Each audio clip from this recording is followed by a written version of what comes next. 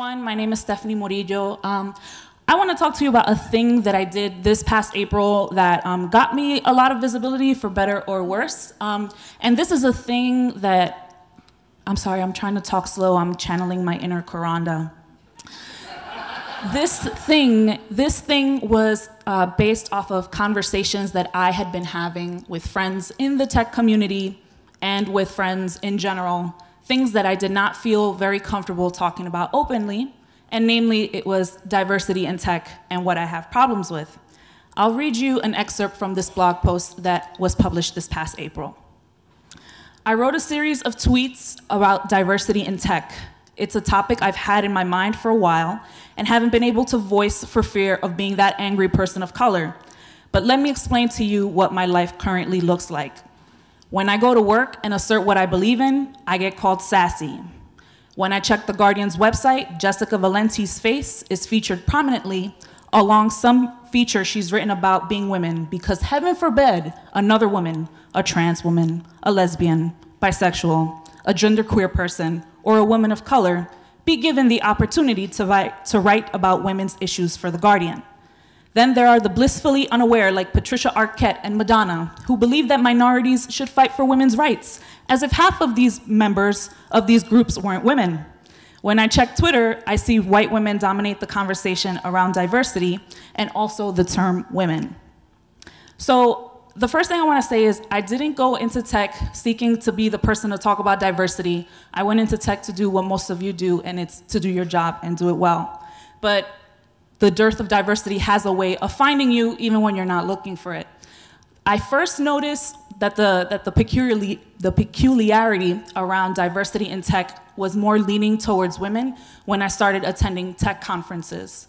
Most of the conferences that I've attended, I've attended on scholarship, and usually the organizers or the attendees will celebrate at some point, and I believe rightfully so, how last year there were less women speakers or less women attendees than this year and we'd celebrate the lines to the bathroom and all of that stuff. And everybody would think that it was great, and that's awesome. But I felt like it was half a victory because I would glance across the room and I would see very few people of color. And among these women that we're celebrating, very, very few women of color. Very few, as in I can count this on my hand. And this is something that I've seen as a pattern across tech in general. Um, I'll explain to you, I'll explain to you what I mean by that. So um, at work, I see this a lot in, in work. Um, earlier this year, I interviewed for jobs in the tech industry. I'm from New York City, so all of my, my interviews took place in New York. And I decided to pop the diversity question, which for me is, what is your commitment to diversity? And similar to what Liz said, I mostly do it just to gauge what the reaction is gonna be. But the interviewer told me, we're very, very dedicated to diversity. We're trying to get more women on the team. And I was particularly annoyed by this answer because I had taken the time to look up the employees and look at the employee directory before going to the interview. And I saw that the majority of the women at this company were white. There were less than five people of, uh, women of color, and about four of them appeared to be Asian. So there were no non-Asian women of color working at this company. Now, unfortunately, um, this seems to be the pattern in tech everywhere. You would figure that in a place like New York City, they would, take, they would pay particular attention to diversity, given that it is the most ethnically diverse city on the planet. But tech startups in New York look and are reflective um, of, the, of, the, of the diversity situation elsewhere. I'm sorry, guys, I'm a little jittery right now. thank you, thank you. Um, I already worked at a company uh, I already worked at a company where, despite having a high percentage of women on staff, um, the HR department wouldn't release numbers around diversity. So we were very keen and aware of saying, yeah, you know, we do have a lot of women working here, but they didn't want to go into numbers around race. Um, so no one felt very comfortable about bringing this up.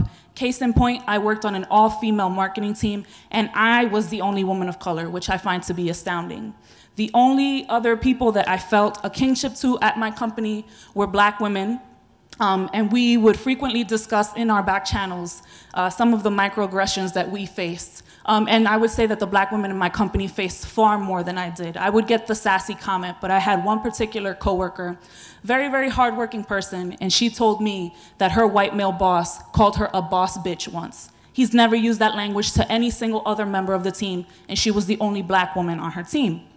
I, I recently met a friend of mine who um, we set up an initiative together, and she told me that she had been called abrasive by people in the industry simply because she was a woman of color and because she had the courage to speak up about her experiences.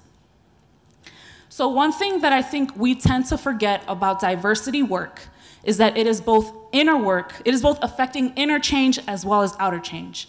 It's very easy to say, I'm not represented, or this person isn't represented, we need to make change. But one thing that I've become keenly aware about in my own journey in, in growth and self actualization is that there's a lot of having to dismantle beliefs within yourself while also seeking to, to promote change on the outside. So for every single time I go out there and say, you know what, I want more underrepresented people in tech, I want more women of color in tech, because this is a group that I belong to, I'm also keenly aware of the privileges that I exert over other marginalized people. I am a woman of color who comes from a disadvantaged background, but I am young, I am able bodied, I am cisgendered, and I'm heterosexual. And these are privileges that I exert over people that are not very much like me. So it is my job and it is my duty to educate myself around the issues that affect these different groups. It is my job to sit down and listen it is my job to amplify their voices. And it is my job to get over whatever issues I have or things that I don't understand because we cannot take baby steps when we have so much to get done. So we can't, we can't wait until we can't wait until we figure out our own, um, un, until we're able to, to reach this level of understanding in order to affect change. So I want to talk about some, uh, an initiative that got it right, in my opinion. This past spring, I participated in a conference for women software engineers called Write Speak Code in New York City. One of the things that called out to me in the scholarship section for Write Speak Code were the scholarships. They put them in different categories.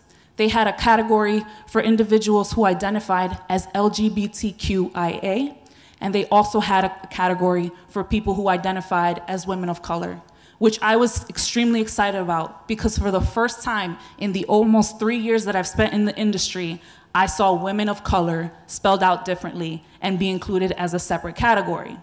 Now, I think this is very important when you're calling out specific groups and it may feel uncomfortable and unnatural, but there's something very reassuring about seeing you and the group that you belong to be given that special attention. It's very easy for us to erase numbers. Case in point, the Wall Street Journal this week wrote an article around Facebook's uh, numbers, the number of tech uh, workers currently in Facebook. And the, the article remarked how last year Facebook's tech workforce was only 15% women, and this year was 16% women. But when you went into the racial back, the, the racial um, uh, breakdowns of all of these groups, Hispanics were only 3%, blacks were only 1%, and other were only 2%. So non-Asian people of color were still less than 10% of the workforce at Facebook. And imagine being a woman on top of that. It, it, would be very, very, very small. And that tends to be very isolating and very exhausting. You hate having to be the token person. You hate having to be the person to talk about these issues and bring them up. Sometimes all you want to do is go in and do your work but you're not able to because you have to confront all of these issues that um, make their way into your life in some way, shape, or form. So I decided that keeping all of these things in mind and holding myself accountable to try to create a safe space for people that weren't like me, but also celebrate people that I felt were getting um, left out of the equation, I decided to co-found a Twitter chat. The hashtag is WOC in Tech, which I started with Christina Morillo, no relation, even though we're sisters in tech. Um, and we decided that we wanted we wanted to know who the other women in color in tech were. We just we were sick and tired of being the only ones talking about being women of color in the industry. That it was really hard to find people, and in a place like New York. So I could only imagine what women of color in other parts of the United States who had who are part of an even much smaller community of people of color, how isolating it was for them. Um, and the results were staggering. Our first chat, we had anywhere between 25 to 40 active participants in the hour. Um, the majority of the women that participated in the chat worked in technical roles, even though we had women who were non-technical but working in tech companies. And we had, um, and we decided to call out groups specifically.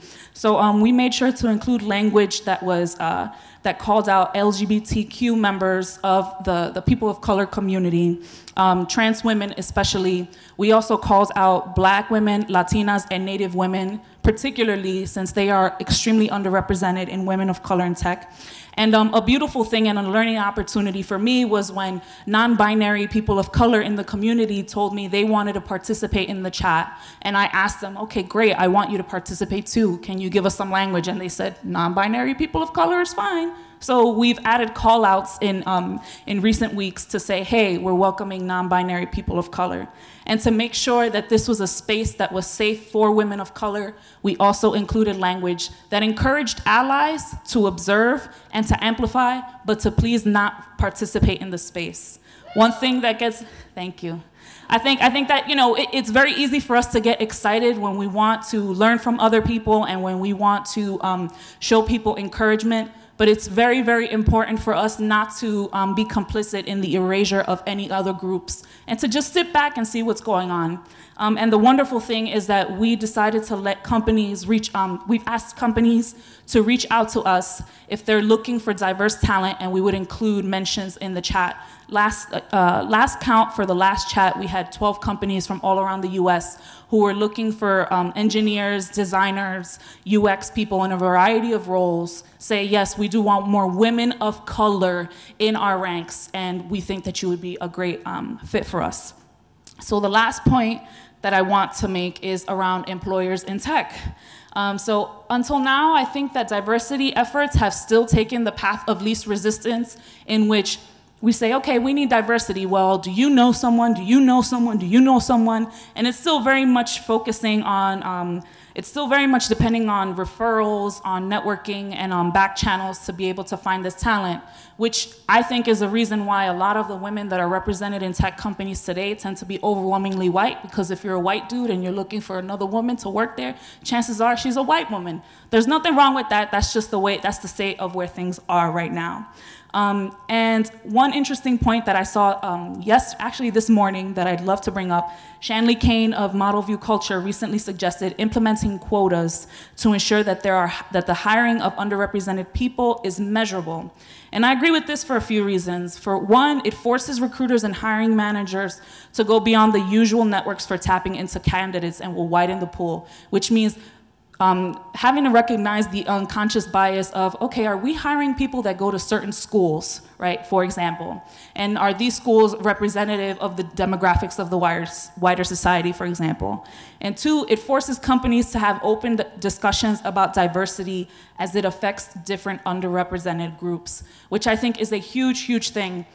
Um, a lot of us were not having sufficient conversations around race in particular, certainly gender diversity beyond um, binary definitions of gender, sexual orientation, on a number of axes, we're not having sufficient conversation and we don't know the vocabulary. We're not developing a vocabulary for this.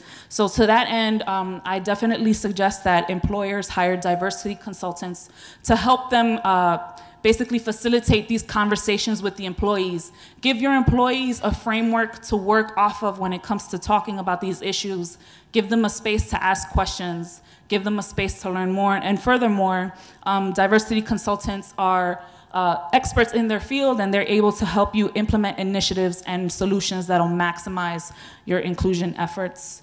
Diversity is really, really hard work. It's more than just affecting change on the outside to make you feel good. There's a lot of it that doesn't make you feel good. There's a lot of it that's tiring. There's a lot of it that you're like, well, I don't understand what the big deal is, but it is a big deal to somebody. And that big deal to somebody can mean the difference between them not being able to get a job that's gonna help them, you know, help get them out of poverty or help um, help move them up the social ladder. Um, so it's absolutely imperative that whatever we do with diversity, that we take the time to speak and take a time to sit back and listen.